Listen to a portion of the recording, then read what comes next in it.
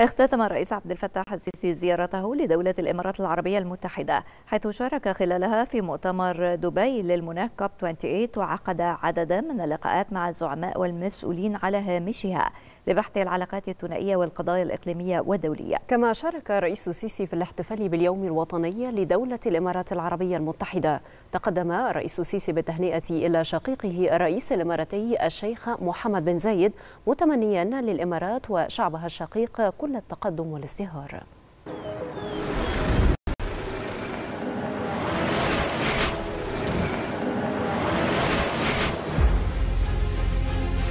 على مدار يومين شارك السيد الرئيس عبد الفتاح السيسي بمدينة دبي بدولة الإمارات العربية المتحدة في الشق الرئاسي للدورة الثامنة والعشرين لمؤتمر الدول الأطراف اتفاقية الأمم المتحدة الإطارية لتغير المناخ كوب 28 وتأتي مشاركة السيد الرئيس بقمة المناخ تلبية لدعوة شقيقه الشيخ محمد بن زايد آل نهيان رئيس دولة الإمارات.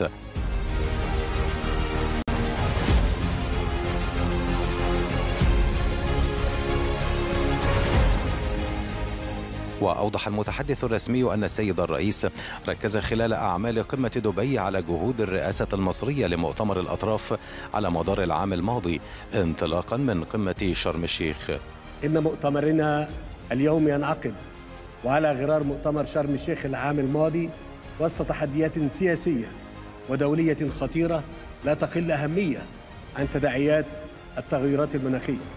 وهو ما يتطلب منا كقيادات سياسية مسؤولة أمام شعوبها العمل المخلص على خروج مؤتمرنا هذا بنتائج طموحة وتنفيذ متسارع للتعهدات السابقة.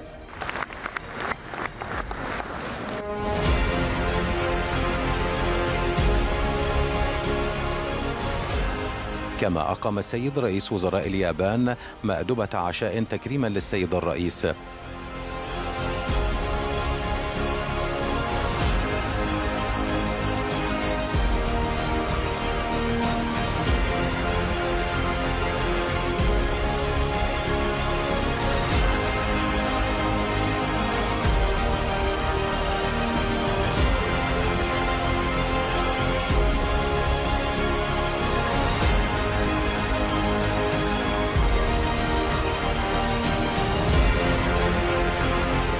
وعلى هامش المؤتمر تضمن برنامج زيارة السيد الرئيس إلى دبي عقد مباحثات مع عدد من رؤساء الدول والحكومات وذلك للتباحث حول دفع أطر التعاون الثنائي. كذلك التشاور وتبادل وجهات النظر والرؤى بشأن مختلف القضايا الإقليمية والدولية.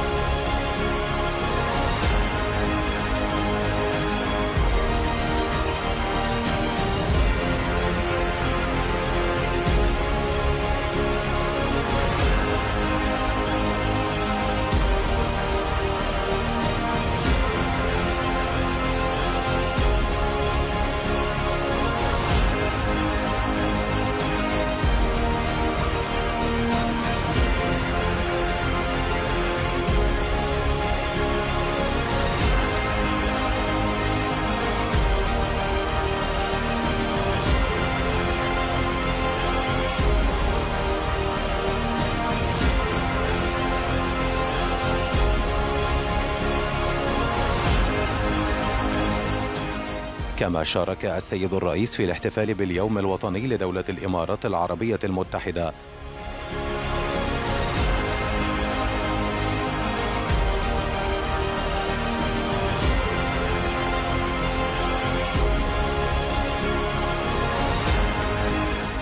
وعقب انتهاء الزيارة غادر السيد الرئيس عبد الفتاح السيسي مدينة دبي عائدا بسلامة الله إلى أرض الوطن.